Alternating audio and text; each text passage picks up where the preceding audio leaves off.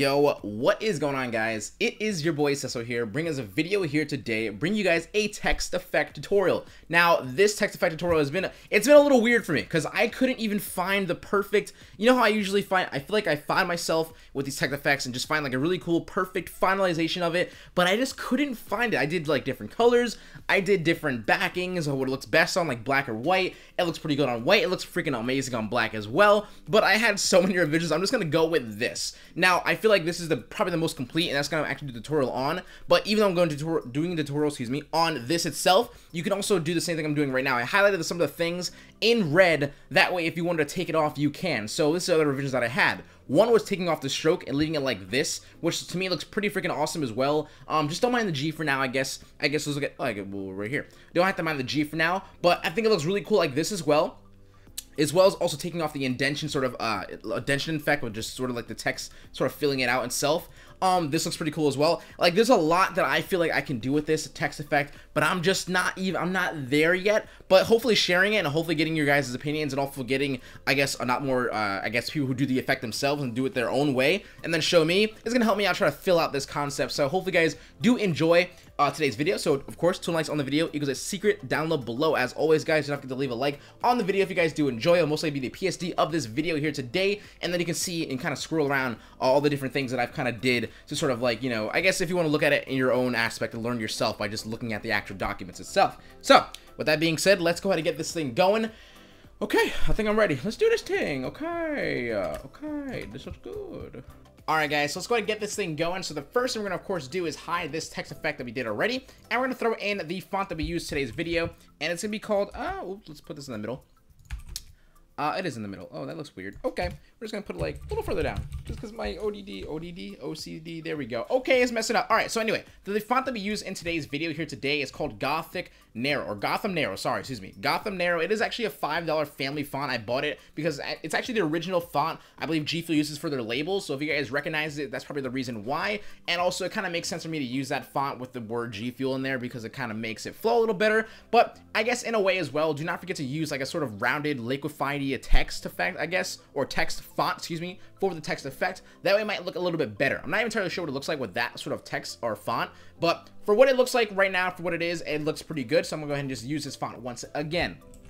So, with that being said, I'm also going to make the background black for this. And the reason I'm going to be doing that is because I'm going to just sort of, this is how I started off how I do, uh, excuse me, I, this is how I started off doing it, is because I saw the colors a lot more better on a black background than a white background, and I just changed it to a white background afterwards, so I'm just going to put it on a black background for now, that way we can sort of see the colors as well again, and also I already added the layer style on here, because I want to get the same exact one, so I basically copied and pasted the layer style that I had in the original, and I'm going to just go through it really quickly for you guys as well. So the first thing, of course, that I did was, no matter what the text font color is, just make sure you select the background color that you're using, and the background color that I'm using here today, the black that I'm using, is the hex code 131 416. It's kind of like a bluish black. I just lowered it down just a little bit. My font color just like so. Just lowered it down a little bit more. And if you guys want to know that, it's 101113. Press OK. And I simply added these layer styles to them. They go off by putting my stroke in first. I had a one size stroke with a blend mode on overlay, over opacity on 15%, and the color was white and we put an inner shadow in, which is probably the most important thing to do, is you put your blend mode on multiply, opacity on 55%, and then your uh, distance at 2, your choke at 0, and your size at 1. And what that does right here is sort of do the entire sort of indention concept, which I feel like it looks really, really good if you didn't want to put a, like, a, put a stroke around it like I had in the original uh, like pre uh, preview, I guess you can say, right? So I also added an inner glow in here on overlay, oh, 5% opacity, stroke size 16, and then your size at, is at 10.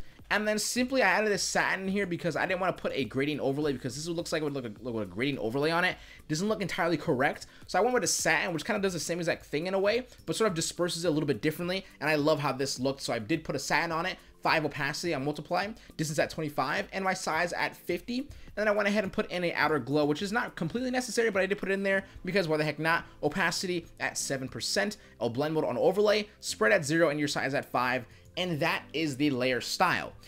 So what comes now after this is basically the whole sort of, uh, uh, the whole color stuff, right? So the color I'm using for today's video, that which I actually did start off with, was this color here, which is DF36F, or excuse I keep saying F. No, that's an F. Okay, DF3646 is a little sort of reddish tone that I use for today's video, and with that being said, I think we're good to go. So the first thing we're gonna have to do is start off with this really cool little sort of liquefied text, uh, excuse me, liquefied fill-in part of this thing, right? So I did use the pen tool for this, and I would advise you to do it again. I wouldn't really advise you to, like, at first I just did like a, like a little box and I used a liquefy to sort of like liquefy it to make it look more liquidy, but I think that was a lazy way out. I think penciling it out is probably your best bet. And I also think this is the most time you should spend on this. I had so many times I just had to redo it and redo it, redo it to make it look best. So I'm gonna just kind of do it right now for you guys. I'm gonna make a new layer.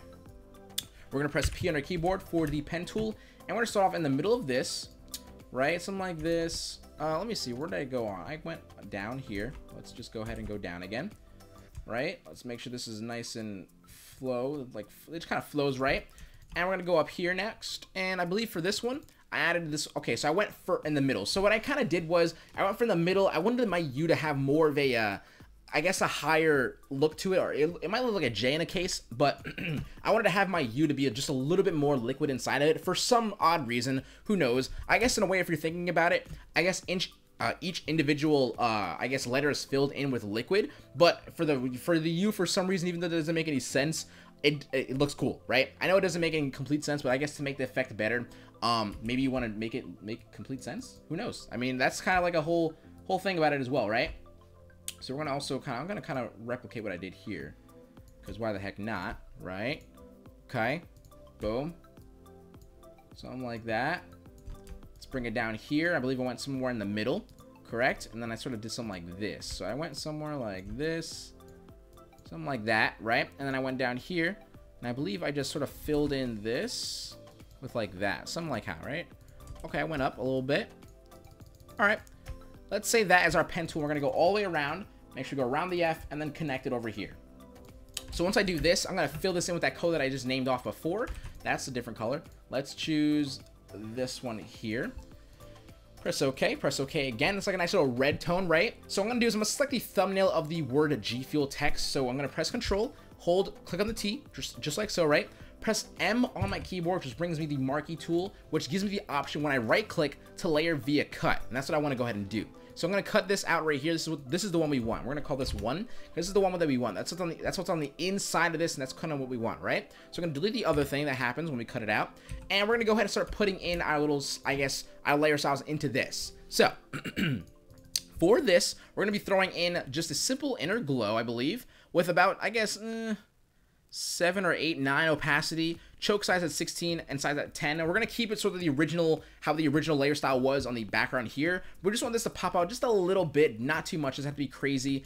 Um, and I would say maybe even add in a bit of a gradient overlay in here, maybe? Like 15, 12, let's go for like 11%. Just to get a little bit two different uh, tones of color there, right? And then I'd say you can probably put in an inner shadow. I believe I did in my original concept, but I'm not entirely sure if it works right now because it didn't really make too much sense near the end. So I'm going to go ahead and say maybe throw in a little simple inner shadow at a size 1 and opacity 50% on multiply.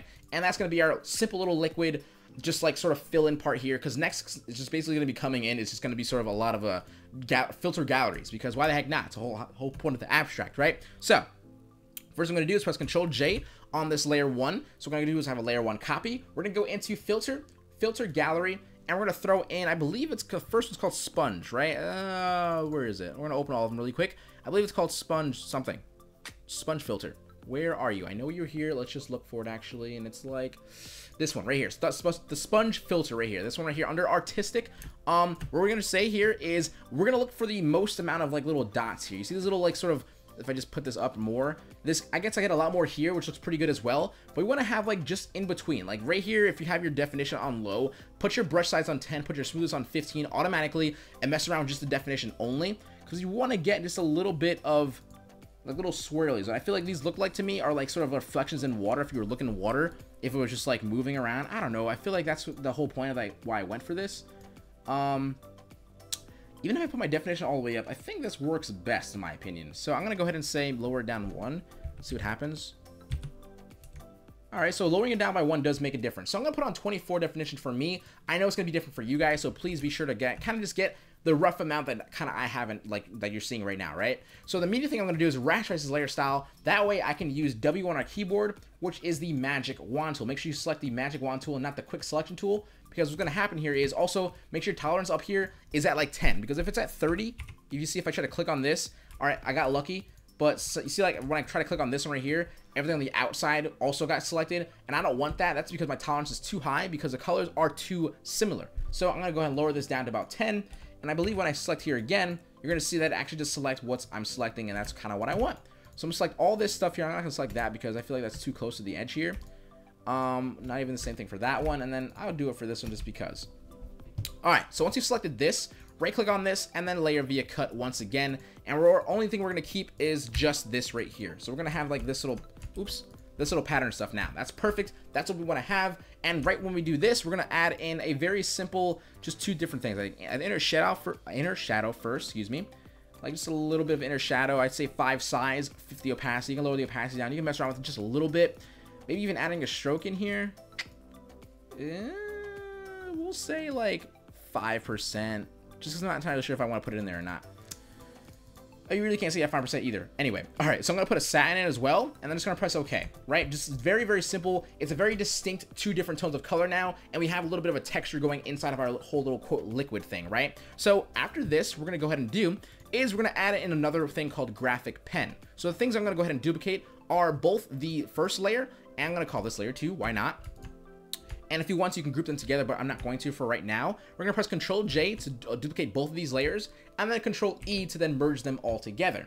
We're gonna go into Filter, we're gonna go into Filter Gallery, we're gonna go into, I believe it's Stort, Distort, excuse me. No, it's in Sketch, it's called Graphic Pen. The reason why I use this one, because it just kind of looked cool, I like the texture that it came out with, but for this one, I'm getting, I'm actually starting to see I have a lot more stroke things going around here. If you guys saw my original concept here, I had a lot less of these like little line strokes here, but I did use this effect, so I'm gonna go ahead and say I'm gonna make try to mess around with it a little bit more and see if I get like a uh, a different look because these are the same exact things I used before.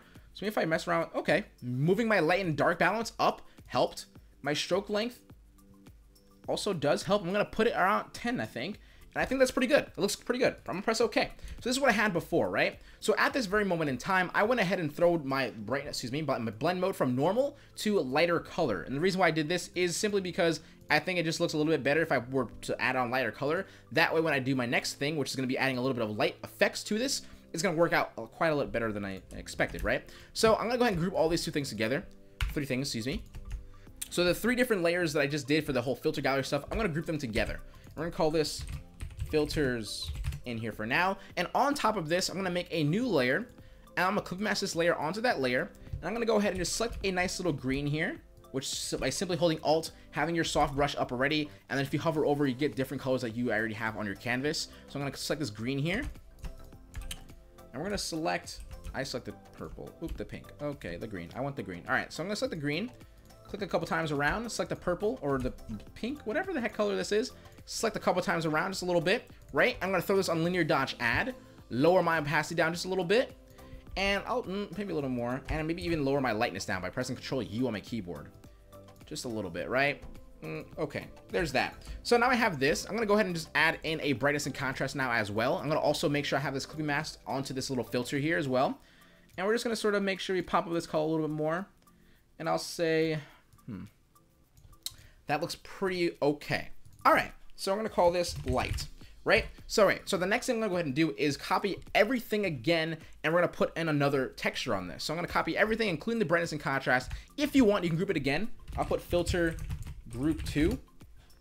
Press Control J, Control E. So Control J is gonna duplicate it. Control E is gonna merge it together, and you're gonna have this layer here to also mess around with again with the filters. So filter, filter gallery, and the way I went through picking my filters and stuff like that, I just wanted to sort of feel like levels, right? So the next one I'm going to be using is called Patchwork. I had my square size at zero and my relief both at zero, and it gave me this really cool pixelated effect. So if I press OK, I'm going to go ahead into uh, my eraser here. I'm going to erase just a little bit, so just so I have like my first layer, my first little layer being a little bit like pixelated in a way. And if you don't want to use the eraser, by the way, I'm going to backspace really quickly, Control Alt Z. I'm going to use the filter, uh, excuse me, the, the masking tool or the layer mask, excuse me. So if I use a black brush, right now you see my, my brush is black. As soon as you click on this layer here, you see over here, as soon as you click on this, they're gonna change the color. So if you wanna use a black brush to erase, that's what you can do. And if you wanna ever put it back in, all you have to do is switch it to a white and you see it fills it back in, right? Black brush. And I'm gonna go ahead and just make sure my first layer here is sort of pixelated. So I wanted to try to build layers. So this is the whole point right now, is trying to be building layers into this little effect here, right? So once I've done this, I'm gonna go ahead and merge it again. So everything besides the text, once again, just like so. And the next I'm going to be using is the mosaic tiles, I think it's called. So if I go into here, I believe it's called mosaic tiles. And the reason why I use this, as you can see, it sort of gives my, uh, like, construction, or excuse me, the, the whole composition sort of like a really cool, almost inner shadow as well, which looks pretty okay for this little effect that I have here. Let's zoom out again. Things pretty okay. Let's maybe move around a little bit for the... Oh, we want to keep that all the way up. Tile size. Let's just say like 62 for this one. Okay, I'm gonna press OK. And I think it looks pretty okay for what it is right now. Let's go ahead and, oops, I don't want to erase too much, but I want to erase a little bit, just so we can get these little bit of like, just a little bit of these increases or indentions, excuse me. Looks pretty freaking cool to me. I'm not entirely sure why. We're going to call this one and we're going to call this two again because it's our second group of filters. And I believe I only have one more or two filters left. So I'm going to, again, group everything again, right? Control J, Control E. That way I have all this now. And we're going to throw this into the filter gallery. And I believe I use Artistic Dry Brush. For me, this looks pretty cool in my opinion. You can mess around with the texture a little bit more, maybe. Uh, I would say not. Put it on one. What's up with the brush detail? I think the brush detail is pretty okay. If I put it on maybe 8 or so. And then maybe even 5 on the brush size and press OK. So what this is going to do for me is put in just another, another, like another layer, right? So I'm going to put in here, we're going to call this 3, by the way. Click on this, black brush. Oops. 3. And then click on this, use the B on my keyboard, black brush and then erase again. And I want to erase just a little bit less than I did before. That way I have this really cool layer now. I have like a nice little layer feel to it. It looks really good right now, and I'm very happy how this came out with. So I'm going to do one more group of layers. And now you can do this a different way if you wish to. I would say you can use other textures. You can use whatever the heck you guys want. I use these specific textures by just kind of like going through a lot and just seeing what the heck happens, right? So I went ahead and just used the last thing was paint Dubis or Dubis, whatever. Shout out to Aaron because it's just gonna make my textures just look a little more sharp, right? You see that how it looks just more sharp, look clean, and looks really good at this very moment in time. And that is pretty much the whole liquefied part of this actual tutorial. So we're not doing anything more or less, or excuse me, I guess we're not doing anything to this text effect anymore for this little liquidy stuff in the inside because that is pretty much it for that aspect. The next thing we're going to be doing is doing a really simple little, I guess, liquefied drips. So I'm going to copy this one more time. Control J, Control E, all the effects that you just did. So we're going to have this little thing right here. We're going to go into filter. We're going to go into, I believe it's, what which one is it? Stylize. I believe it's stylize. Eh which one is it? Video, other, okay, pixelate, oh god, distort, it's in distort. Okay, so it's in distort, it's called wave, right? So for this, it's gonna be a little difficult for you to see. I'm gonna just kind of see what happens if I just press okay really quick. Okay, so it's kind of like the same thing I had before. So I'm gonna, if I go back, I'm gonna give you guys the exact same sort of things I have right now for my, uh, boop, for my uh, settings here. So I had number generates uh, 5, wavelength 10, 17 max, 1 amplitude, 33 max, and 100 scale, 100% uh, vertical. Pressed OK, and I have this here. I'm going to throw this right here. I'm going to call this wave. I'm going to... Wave with a V, not a B. And we're going to throw this behind the G Fuel text. We're going to find a good spot for where the look, kind of looks like nice and liquefy it right here. Looks pretty good right there. We can delete this one, delete this one. Maybe just keep these two maybe.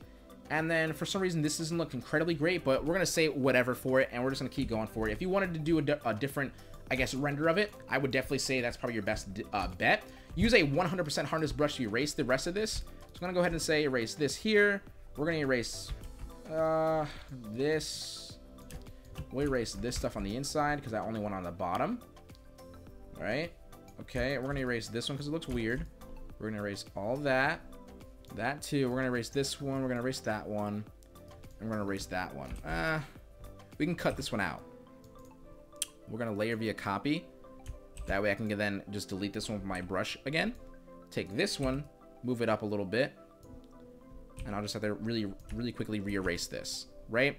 I wanted to make sure I didn't have that weird looking thing there. I don't need any of this stuff on this one. Just that right there. Actually, that looks pretty cool too right there. All right, cool. So once I have this, I kind of have this really cool little liquefy sort of effect here. This is now, I'm, I just started seeing this. I'm going to delete this one too. Can't really see the F. And we're going to also cut this one out, I think. Copy. So we'll take our brush, right? Black brush, get rid of it. On the copied version, move it up. Oops, I erased it on my copy version. Okay, so it's on there. Select it, cut it out. There we go. And move it up just a little bit. Get the nice little liquefy in there. Take my eraser and get rid of that right there. Perfect. Now we have this little cool little liquefied sort of thing on the bottom, which is pretty cool. I think it looks pretty cool, and I think we're just going to keep it like so. And I'm just going to go ahead and group all this together and just call this wave. Oops, I didn't mean to click on that like that. Group it all together and just call it liquid wave. Right? So once you've done this, you're also on the road to basically finishing. I believe the next thing we got to do is sort of like the little uh, I guess, the stroke around it, if you guys want to say. And also, you can probably put the back uh, white background in here as well. You can also get rid of this if you want to. So this is what it looks like currently. So if you have these little other things here, which I actually have to I happen to find quite a lot, if you need to just go through all your layers really quickly, excuse me, I think it's this one right here. Okay, so I'm gonna take my brush and then erase it with black and it'll get rid of that very, very simply so it just doesn't look really weird. So if you wanted to use it like this, like I said before in the beginning of the tutorial, if you want to use it like this, that's your option there. But I'm going to also really quickly just show you guys how I did it with the little stroke, right? Very, very simple things I did here. All I ended up doing was, we're going to duplicate this little G Fuel text here. We're going to lower our fill all the way down to zero. You guys already know how this works, right? If you lower your fill all the way down to zero, this is how you get the indention part of it. So if you put the uh, the original sort of copy that I did from the, remember in the beginning, I was like, hey, put this layer style on here. And you guys were like, why the heck you did that? Well, this is why I did. It. If you lower your fill all the way down to zero, this is what it looks like right here when you sort of have it on a white background. This is the second revision that I had, and that's where I want to say it right there. I'm going to stop right there and say, like, that's what it looks like. You can go ahead and go from there. But what I ended up doing was, I'm going to delete all this stuff here. I'm going to copy this before I do that delete all this rest of the stuff here. We're just going to only have a stroke on this. And for this stroke, I'm going to make it black. And we're also going to make it, oops, I didn't mean to move it like that. We're going to make it uh, black, put the opacity up here, and then put this up as well. Uh, I'm not put it on overlay, put it on normal. I believe right about here looks pretty good. Okay, I'm gonna press OK. Now, I'm going to really quickly delete this G because we're not going to be using that too much. We're only going to be using fuel as in F-U-E-L.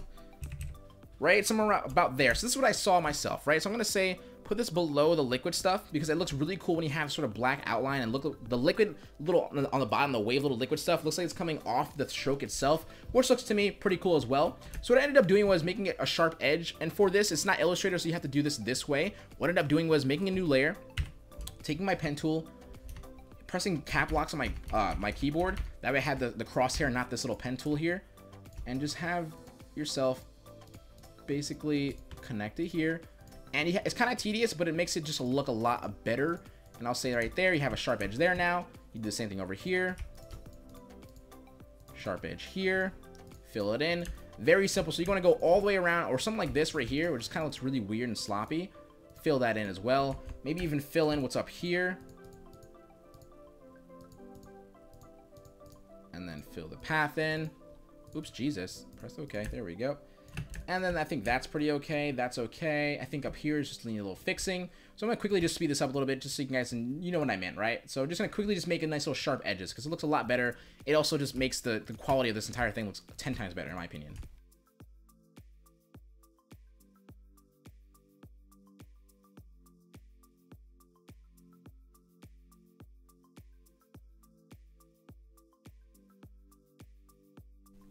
Okay, so I'm pretty much done. I have one more thing here. Okay. I just saw this one. So it kind of just makes it all look a lot more quality. And this looks 10 times better in my opinion with the nice little sharp edges here. And that is gonna how I'm going to have it right here, right? So once I have this here, I can go ahead and just basically merge these two things together now. Now I have this just one nice little stroke with a nice clean cut on the edges. And we're going to call this stroke just like so. And we're also going to go ahead and put a layer on this. Right click, click mask it. Take your brush. We're going to take a nice little softness brush here and we're to select this little red here. And we're just to simply click just like so. And then select this little yellowish orange here. And then click on the middle just like that. And I have this little sort of tone on this, which is pretty freaking cool. So what I ended up doing was saying to myself, let's say if we just made another clip mask here. That way if I just, I guess I can erase and fill it in if I want to. But I wanted to say if I just did something like this, how cool would it look if I just erase this by just pressing uh, Control, uh, or excuse me, Alt Backspace to quick fill this little black in here, which also will erase on this layer right here. Right, we had something like that, right? And I was like, maybe if I just made this look like it was almost falling off, so quick fill this in black as well. Uh, quick fill this down here black as well. Maybe even quick fill this entire thing black right here. Uh, and then maybe even quick fill, I don't know, we can just cut out. I want to make sure you can still see the defined E, so I'm not even going to say too much right there. But something like this, and if you wanted to even make it look like it's spilling maybe, quick fill that down there, something like that, right? Um, I might just quick fill this down here because I don't know. Why the heck not, right? So then if you wanted to, you can then put on this G Fuel again, right? Lower this opacity down to zero. And you can now get this little indentation with also the stroke path on it. If you want to get rid of the G, you of course can. But that is basically it. I think I'm pretty good to go. And I think it looks a lot, it looks really cool. I can see this already on some people's advertisements. Just for a little more, I guess, I guess, support on the text itself, because sometimes it's all about the product itself, which it should be, but just making that text just look a little bit cooler, making it make sense and stuff like that, will honestly probably just boost you up even more and have even more attention brought to it, right? So I'm going to go ahead and say I'm pretty much done. I'm going to say I am done with this. I'm just putting a nice little lighting effect on at the end, and we're just going to stop, we're going to stop touching it. I'm done with this. I think I like this a lot. I, I do like this a lot. My next G Fuel probably concept I'm gonna be doing for like an advertisement something like that from portfolio. I'm probably gonna do something like this because it's it's very fun. And I'm just gonna make sure I tone it just the way I want it. And you guys will see my revision of it. I guess my final revision. But for now, that is the tutorial for today. Hope you guys do enjoy it. Hope you guys enjoy your Sunday. Hope you guys enjoy your week, including my video here today and stuff like that. So if you guys want, of course, leave a like on the video. Two likes on the video equals a secret down below, as always, guys. And thank you guys so very much for the support on my past two videos. Thank you guys so very much on the support on this to the client video. You guys make this thing's very, very easy for me. Honestly, I, I, I appreciate you guys very, very much. So I will talk to you guys in a little bit. Seso HQ out. Peace.